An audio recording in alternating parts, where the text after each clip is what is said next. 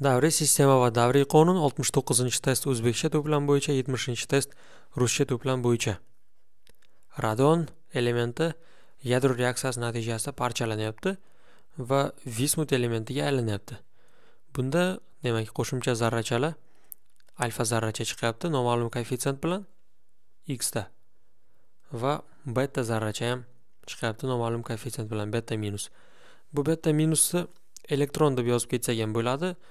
Chunki beta minus zaryadi minus massasi nolku elektronda ham xuddi shundayda demak elektron deb aytgan mana bu yerda reaksiya e, masalada o'sha uchun adashib ketmaslik uchun elektron deb yozib qo'yamiz. Va ikkita neytron hosil bo'lgan. Radonni ikki yuz yigirma to'rt izotopi reaksiyada ishtirok etyapti. Vismutni qaysi izotopiligi aytilmagan noma'lum.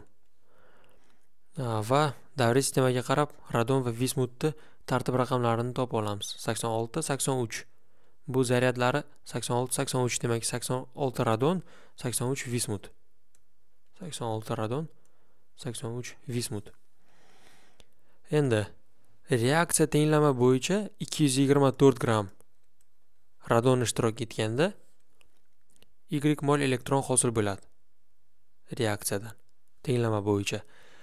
Bir butun o'n ikki o'n usti minus to'rt gramm radon parchalanganda bir butun besh yuz besh o'n usti o'n sakkiz dona elektron hosil bo'lar ekan bir butun o'n ikki o'n darajasi minus to'rt gramm ishtirok etganda reaksiyada.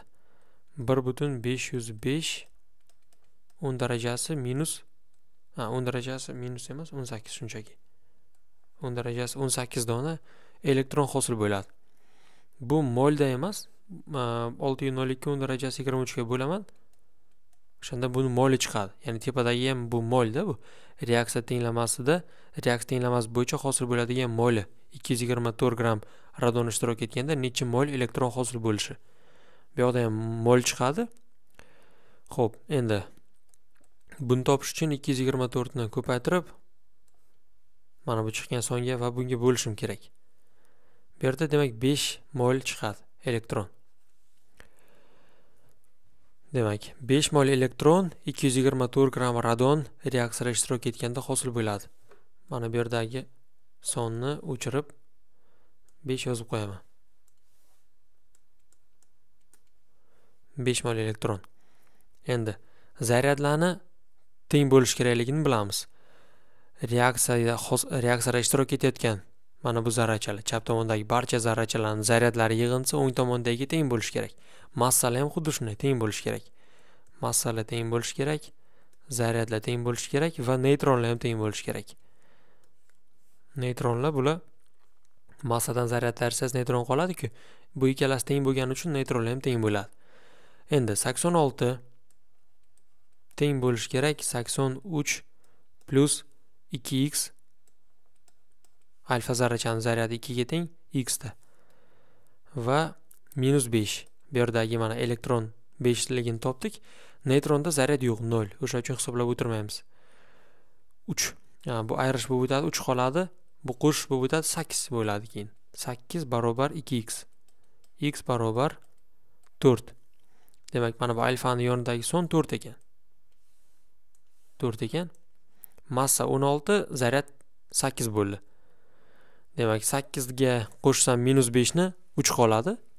Uchni qo'shsam sakson uchga sakson olti teng bo'ladi. Massa endi o'n olti bo'ldi to'rt karra to'rt ikkini qo'shsam o'n sakkiz. Elektronda massa yo'q. o'n sakkizga nechini qo'shsam ikki yuz yigirma to'rt bo'ladi. Demak ikki yuz yigirma to'rtdan ayirsam o'n sakkizni kelib chiqishi kerak mana bu massa.